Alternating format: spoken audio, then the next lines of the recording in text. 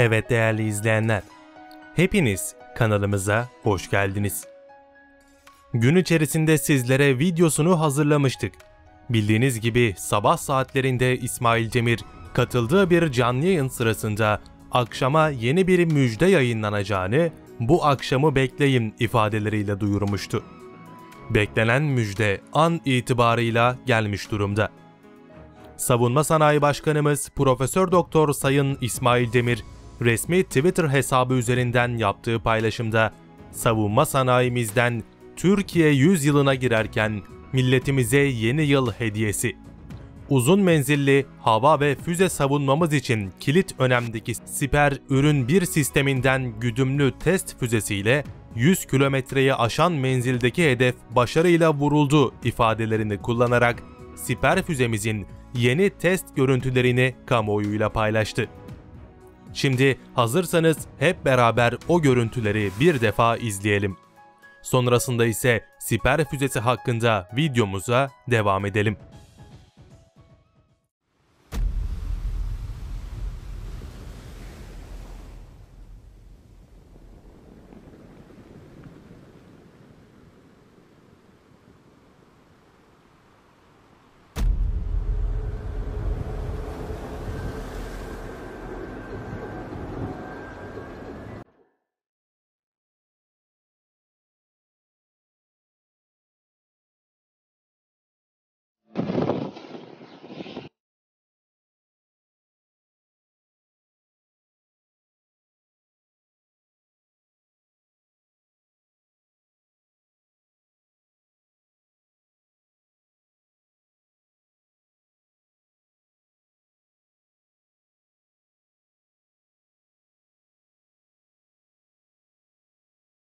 Atış serbest.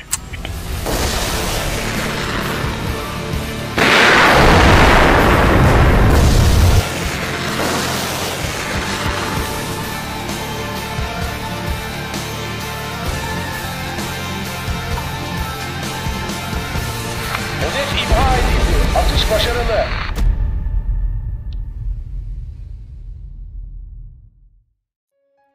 ...2023 yılına sayılı günler kalmaya başladığından beri savunma sanayi alanında gelen müjdelerin ardı arkası kesilmezken, Kızıl Elma'nın, Hürjet'in ve Milli Muharip Uçağın, yine TUSAŞ tarafından geliştirilen Anka 3 gibi platformların heyecanını daha üzerimizden atamamışken, Savunma Sanayi Başkanımız Profesör Doktor Sayın İsmail Demir'den sabah saatlerinde herkesi meraklandıran ve aynı zamanda heyecanlandıran bir açıklama gelmişti. Savunma Sanayi Başkanımız Profesör Doktor İsmail Demir bu akşamı bekleyin diyerek yeni bir müjdenin sinyalini vermişti ve nihayet o müjdeli haber karşımıza çıktı. Paylaşılan görüntülerde de gördüğümüz üzere Siper hava savunma füzemiz güdümlü test füzesiyle beraber 100 kilometreye aşan menzildeki bir hedefini başarıyla imha etti. Siper bildiğiniz gibi Hisar füze grubunun en uzun menzilli platformu olarak karşımıza çıkacak bir sistem.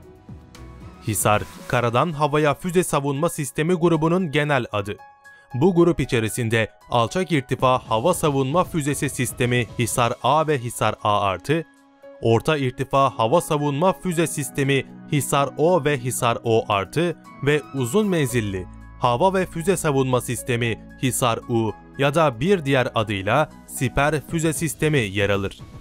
Bu sistemler Aselsan ve Roketsan liderliğinde 2007 yılından itibaren geliştirilmeye devam ediyor.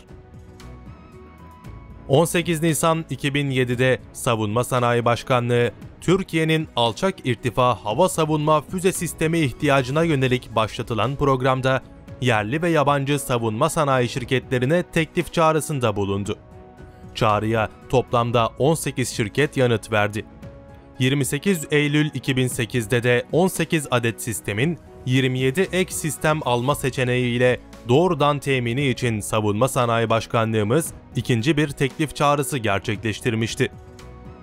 Bu tekliflerin değerlendirilmesi sonucunda 20 Haziran 2011 tarihinde ana yüklenici Aselsan ve ana alt yüklenici Roketsan olmak üzere proje ihalesi neticelendirildi. Savaş başlığı ve batarya geliştirilmesi için TÜBİTAK SAGEB'e veri bağlantıları çalışması için ise Meteksan Savunma alt yükleniciler olarak belirlendi. Proje maliyetleri sırasıyla alçak irtifa sistemi için 314.9 milyon euro, orta irtifa sistemi için 241.4 milyon euro olarak değerlendirildi. Fakat Hisar-U yani Siper füzesi grubu için herhangi bir proje maliyeti açıklanmadı. Hisar-U uzun irtifa hava savunma sistemi Aselsan, Roketsan ve TÜBİTAK SAGE tarafından başlatılan, geliştirme çalışmaları devam eden, yüksek irtifa ve uzun menzilli bir hava savunma sistemidir. Gemi ve kara konuşlu olarak kullanılması planlanan füzenin 100 kilometreden fazla menzile, çift darbeli motora, aktif arayıcı RF başlığa, kızılötesi görüntüleyici arayıcı başlık ile terminal güdüm yeteneğine sahip olması bekleniyor. Sistem özellikle Türk Deniz Kuvvetleri'nin en büyük muharip gemi projesi olan TF-2000 sınıfı hava savunma muhribinde de kullanılacak. 6 Kasım 2021'de Siper hava savunma füzesinin test atışı ilk kez kamuoyuna sunulmuştu.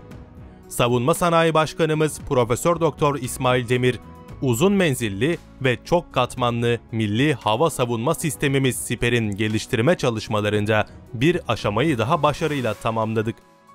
2023 yılında envantere almayı planladığımız Siper ile gök vatanımıza karşı bütün tehditleri en güçlü şekilde bertaraf edeceğiz açıklamalarında bulunmuştu diyelim ve videomuzu sonlandıralım. Evet değerli izleyenler, bir videomuzun daha sonuna geldik. Bu tarz videolarımızın devamının gelmesini istiyorsanız kanalımıza abone olmayı, videomuzu beğenmeyi ve görüşlerinizi yorumlarda bizlerle paylaşmayı unutmayın lütfen. Bir sonraki videomuzda görüşmek üzere. Kendinize çok iyi bakın. Hoşçakalın.